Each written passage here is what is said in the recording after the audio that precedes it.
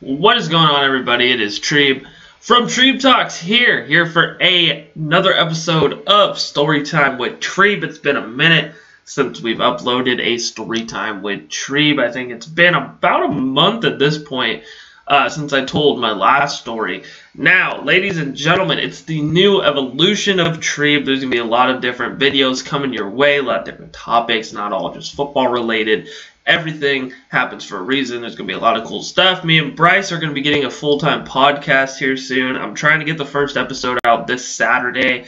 Um, it's going to be called 15 Years of BS because me and him have been friends for 15 years and we have a lot of stories between the two of us and hopefully you guys do enjoy that. But today, what the story is going to be is something that I've, I've touched on a little bit. I, uh, when it first happened, I did talk about it just a little bit, but today I'm going to go a little bit more in depth. Now, if you're new to the channel and you weren't here uh, during the summer of last year, your boy had a seizure while at the wheel. Now, this is one of my favorite stories to tell, I'm not going to lie, just because, uh, I mean, it's an experience, and I've never experienced anything like that. I've never been in an ambulance, I've never been to the hospital. You know, I don't have any allergies that prevent me from eating things, so I have an allergic reaction, so I go to to the hospital. You know, I've you know I've been good. You know, I've been blessed with good health, but there is this story that really changed my life, um, and it was my seizure. So, ladies and gentlemen, sit back, relax, grab your coffee, grab your popcorn. Grab your vapes because we are going in. It is story time with Treeb, and this is what happened when I had a seizure. So, in order for y'all to understand this story, we're going to take you back to the day before my seizure. The seizure happened September 1st of 2018. So, just about five months ago is when this seizure went down. Now, prior to that, it was the last day of August, and I was covering my first high school football game for the. Uh, the newspaper I work with here at the uh, at the Lewiston Tribune, and uh, I typed all that up. And you know it was stressful. I almost didn't meet deadline. I think I got done at like 11:05, and the deadline was like 11:10, like my editor said, or something like that. So you know I was stressed out about that. Uh, I got in the paper. Everything was good. You know I got my critiques, got everything, and. Uh, I went home. So I went home. I don't get off work until about roughly 12:30 every night. Um, but this time I came home a little later. It was like one one fifteen, and so uh, I play some video games because I can't. I'm one of those people that when I get home, I can't just go to bed. You know, I have to I have to relax. I have to play a couple of games of NBA 2K. I gotta play some games of Madden. You know, all that stuff. You know, I gotta play my video games. I gotta watch something on TV. You know, I can't just go to bed as soon as I get home from work. So I was up until about four or five in the morning that night just playing video games, watching Netflix, you know. So it's nothing new. That's some, that's stuff that just happens every night almost. And then I go to bed, and I usually I because my work schedule's so fucked, you know. I don't get up ever until about one o'clock. You know, that's why these videos come out at around three o'clock. I just get up, I talk to you guys, and you know we put the videos out. But you know, for some reason on September 1st of 2018, I thought that I had to get up at 10 a.m. So it was like five hours of sleep, five, four hours of sleep. I couldn't go back to bed after like I was up at 10 a.m. Bailey was up. We were fucking around, you know, talking, and I was like, man, I'm just gonna get up. You know, I have no reason not to. You know, I'm awake. Let's just get up. So the whole plan was was that uh, this was actually the day that we, we were gonna have a big party at Colton's house. Uh, shout outs to Colton if you're watching this, by the way. We were supposed to have a big party at Colton's house. Everybody was supposed to show up, and we are supposed to do our fantasy draft that same day at Colton's house on uh, ESPN. So I get up early, 10 a.m. I'm talking to Bailey, blah blah blah. We're hungry. We don't really have any food at the house. I was like, how about I go pick up some breakfast? You know, because I'm a nice boyfriend and I like to go out to eat. So I'm like, you know what? Yeah, let's go get breakfast. So we have this little diner bait uh, diner place here called the Bait Shop. Um, and I didn't want to change. I didn't want to shower right away, so I was like, "Fuck it! I'm just gonna go pick it up, take it home, eat here, and then figure out what we're gonna do for the rest of the day after that." So I get dressed. You know, I throw stuff on. I get in the car. I'm like, "All right, I'm gonna go pick it up. I'll see you when I get back. See you later." So what I do is I hop on my whip, my 1990 Mazda 626. If you're wondering what old Treeb from Treeb Talks drives, it's not the most luxurious vehicle. It's kind of a shit box, but you know, it's my shit box. You know, if you have a shit car, you're not gonna admit it's a shit car to anybody else. Anyway, so I hop in the whip and I'm like, all right, we're gonna go and I'm gonna go get you some breakfast. So Bailey didn't come with me. I was like, I'm gonna go. I can pick it up. Can stay here. I'll be back five minutes. So we hop in the whip, and when I start driving, you know, there's there's shortcuts for people to get anywhere they need to go. So either when you're going down this road, you can go straight and you can go down to this light, but this light for some reason just takes millenniums, or you can just cut through the Kmart parking lot and you're already up that hill and you're fine. You know, you're ready to go. That light also takes millenniums. So what I decided to do is I was like, fuck it, I'm gonna cut through the Kmart parking lot. I do that like every day. So I was like, I'm gonna cut through here, get to the stoplight, first car in line. So I'm sitting there, first car in line. I'm listening to YG because that's that's when his uh when Stay Dangerous first came out. So I was just, I was listening to a lot of YG at the time. So I was listening to some YG. I was just chilling at the stoplight, and then bam, I just black out. Like it's I have no okay, and was, this was probably more important to know at the beginning. I have. And I, and I kind of did. I have absolutely no history of seizures. I have no health problems whatsoever. This is why it was just so random. Like I have no idea why or how, you know, this seizure came about. So you know, if you're gonna leave that comment down below, like, well, how why'd you end up having a seizure? How'd you have a seizure? So I have some possible reasons why. So stay tuned until the end to uh, figure that one out. But anyway, so I black out. You know, when you're black out, you're not thinking anything. You're just you're just done. You know, like there's nothing there's nothing you can do. You're blacked out. And then you know I somewhat wake up, I look, and there's this big ass fucking EMT guy from the ambulance, you know, at my at my uh, door. And I was like, "Is everything okay? We good?" And he's like, "Are you okay?" And I'm like, "What do you mean?" And he said, uh, "We think you just had a seizure." And I'm like, "What? I had a seizure?" And you know, I, I didn't believe it at the time because I was like, I felt like I was still at the stoplight. Like I didn't feel like anything happened. You know, I just my brain shut down, everything shut down. It was done. You know, and I was and I was at the wheel, at a stoplight. See, and this is the thing I thank God every day. I literally do. That when I had this seizure, if it was a half a second sooner, half a second later, when I had this seizure and that light turned green, I'd be driving, I'd have a seizure, I'd run into somebody, I'd run into a pool, I'd run into another car. You know, bad things would have happened if I wasn't at the stoplight. So, thankfully, I was at that stoplight and I didn't run into anything. You know, I was pressed on the brake, I was at a full stop. I just had a flailing bad seizure at a stoplight exiting the Kmart parking lot, front of the line. So, anyway, going back to when I saw the EMT, the EMT's like, Are you okay? And I was like, Yeah. I was like, My shoulder hurts.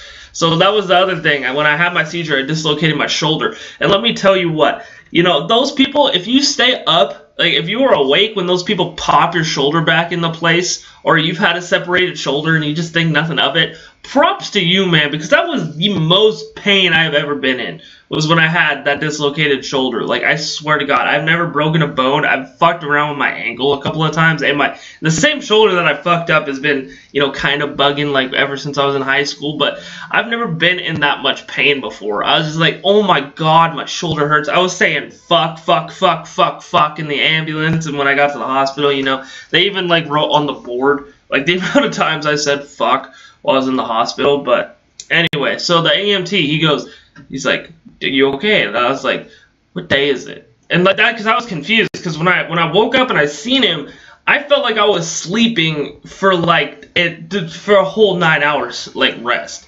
You know, and like I was probably out for about ten minutes, which is something that I've always kind of wanted to know. I never asked because like I wonder how long it took for the cars behind me to realize that I was having a seizure. You know, in order to get out of their car and say, hey, let's call 911. This kid's having a seizure. You know, I've always been kind of wondering about that. But um, so he goes, yeah, you, you're gonna have to come into the ambulance with me. And I literally, I could have walked. Like my legs weren't necessarily like broken, but he's like, come lay on this gurney, come lay on this stretcher. We're gonna roll you into the ambulance. And I was like, okay. And, you know, I'm scared. I'm just listen. I'm listening to what they have to tell me. And it's at a busy ass intersection, so this whole intersection shut off. And like I just remember, there's like police stands that like we're making sure no one was coming in on this busy ass road, and I was just like damn, dude, I shut down this whole fucking busy ass street because I had a seizure.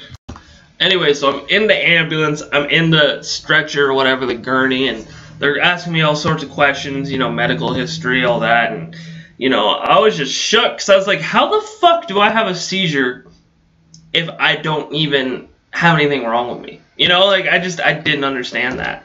And though, and then, so we go to the hospital. I'm at the hospital you know, I'm sitting there, you know, I'm getting all these tests done. Uh, I got a CAT scan and stuff. I got some X-rays for my shoulder. Um, you know, and I and I call Bailey, and you know, Bailey is shook up about it. Bailey is like, uh, like crying, and she, you know, she came to the hospital. And then my parents came to the hospital. Uh, I'll never forget. My my my good friends uh, who was there it was Colton. Shouts Colton. Mike. Shouts Mike. And Barnage. Shouts Barnage those guys came and seen me at the hospital. They didn't come in and see me, but my dad seen them, and you know, my dad sometimes, you know, he's a little standoffish. It's kind of funny. I just remember he, and my friends telling me they came up and was like, "What did what did Trevan drink last night? How fucked up did he get?" You know, he thought that I was had like alcohol poisoning or something. Like, even though I'm sure Bailey told him I had a seizure, but you know, my dad was just all pissed off my friends because they thought that they got me all drunk or something. But you know, the night before I was covering a football game, I wasn't even drinking, so you know, that was just that, that that story is always kind of funny to me. But uh, so we come in, I get all these tests done, and what it comes up is I have a dislocated shoulder. And they they talk to me a little bit about my seizure and what might have happened. They say that like my threshold for seizures is lower than the average person. Um, and they said it was weird. They're like your threshold is lower for the than the average person's, but you're still more prone to get them but you won't get them that often, or you won't get them often. Like, this might be the only seizure you'll ever have in your entire life. And it's like, this is fucked up how this shit works, how seizures work, because you could literally just have one in your lifetime, and that's it.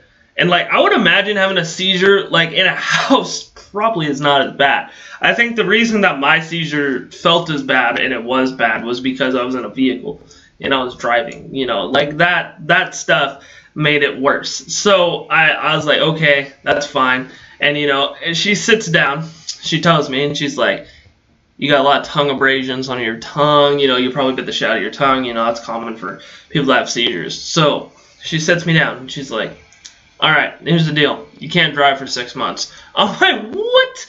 I can't drive for six months. I mean, at the time, I was pissed, and you know, it kind of made sense. It's like you just had a seizure driving. You probably should lay off the wheel for a while. And I did. I didn't lay off for the whole six months, but I definitely did do a couple of months of no driving.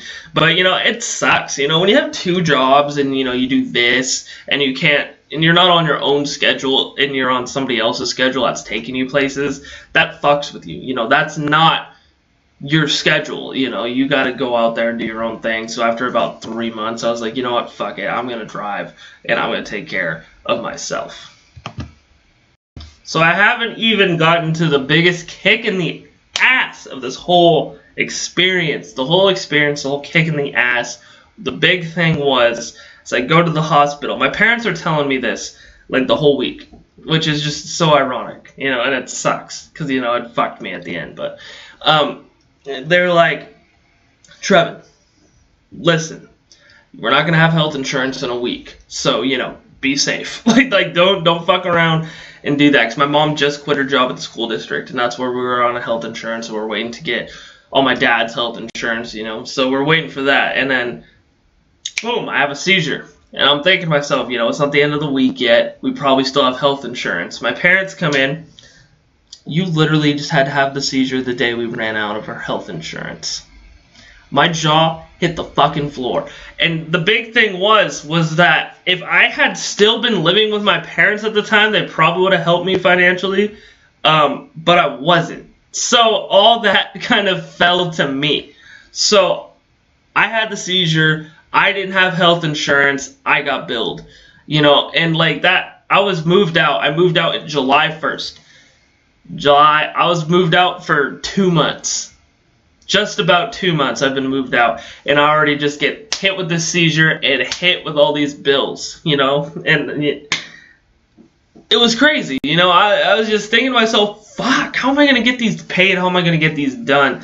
And it was all in my mind, you know, that this part this part of the story is, you know, it's over with the seizure. This is more of kind of a, you know, positive positive vibe, positive thinking. So what happened was was I got a six thousand eight hundred eighty seven dollar bill from the hospital. I got a two thousand dollar bill for the CAT scan or something, and then I got like a six hundred dollar bill for the ambulance ride, and then I got a uh, hundred and twenty dollar bill for popping my shoulder back into place. So fucking I had about eight thousand dollars worth of bills. Now, instead of just paying them off or going to the hospital and trying to write them off like a smart individual should do, I had the mind state of fuck, fuck, I can't believe I fucked up this bad. The world is out to get me. You know, I can't pay these. You know, I'm just gonna, I'm gonna wait until the last possible second. And I did do that. I did do that with a lot of my bills, almost all of them. You know, I just sat on them. I was just like, I can't pay these. What am I gonna do? You know, and so what happened was was I, I'd complain about it a lot to my friends, and then my buddy Mike, who was at the hospital, set up a GoFundMe for me for my hospital bills, and that that just warmed my heart. And the, the fact that people donated, so many people donated, you know, that also just warmed my heart. So you know, I don't remember the total amount that we ended up getting. I think it was like 700 roughly roughly around 700 bucks. So, you know, that didn't pay off near all the bills, but that helped out a lot in paying off some of the littler bills. And, uh, you know, I still had the big one. So what I did was, was I got off my ass. I went to the hospital. I showed my W-2s, my income and stuff, and I told them straight up, I can't pay this. So what they did was they wrote it off. And you have no idea how how stupid that made me feel in the head and how much of a weight that was lifted off my shoulders. Because in my head I was like, Trevan, you could have done this literally the day you got the bill, and you would have never had to worry about it again. But you know what you do? You fucking you sit back, you relaxed, you didn't, you waited, you waited, you waited until it was just about to go to collection. You're like, hey, yeah, I'm not gonna pay that. So, you know, it, I was blessed in the fact that you know they were able to write that off for me. I really do appreciate that.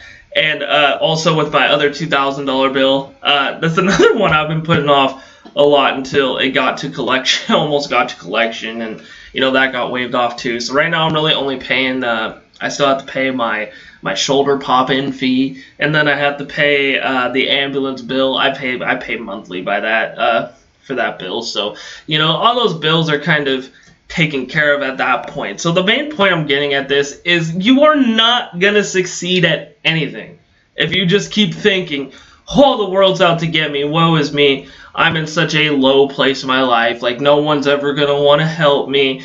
Uh, you know, and you're complaining, you're feeling sorry for yourself. Quit fucking feeling sorry for yourself. Do you know how many more people have it worse than you?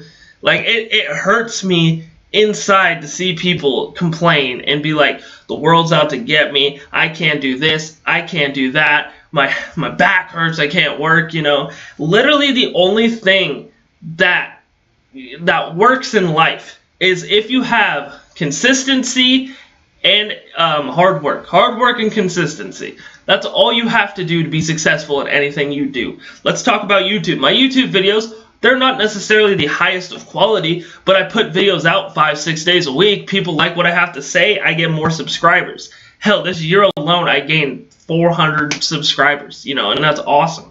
And that's just from hard work and determination. Same thing at a job, you know. If you're at a job, you work hard, you get a raise, you know, and you you're consistent. You keep coming, you keep coming, you keep coming, you do it, you do your work, you know, you do what you're told. And that was the same thing with the Bills was that I had the mentality, man, woe is me, the world's against me, I can't pay these, I don't make enough money you know, if you have those certain types of bills and you don't make enough money, they will help you out and they will write it off for you. At least the bigger bills. You know, some of them you're going to have to set up payment plans and just get it done. But, like, it's the same thing for people that just don't want to get a job, you know, and they're just like, oh man, I'm not cut out, I smoke weed. Stop fucking smoking weed then.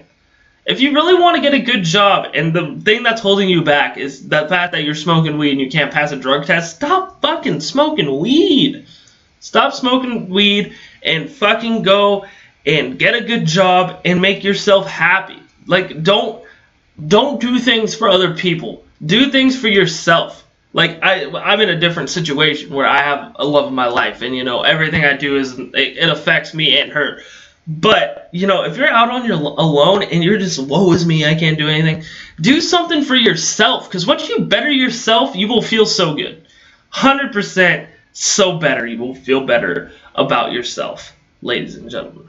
And that was some story time with Treeb talking about my seizure. A little bit of motivational speech at the end as well. What do you guys think? Leave your comments down below. Don't forget, you can check the links down below as well. You can like me on Facebook, at Treeb Talks. Follow me on Twitter, at Treeb Talks. Follow me on Instagram, at Trayvon Pixley. And if you're feeling oh so generous, you can go ahead and donate on Patreon. That's patreon.com forward slash Treeb Talks. Also, if you haven't yet, make sure you hit that subscribe button, click the bell icon to get notified every single time I drop a new video. I drop new videos on this channel five days a week. Ain't nobody outwork me. Them's just straight facts. Ladies and gentlemen, more new content on the way. Have a terrific day.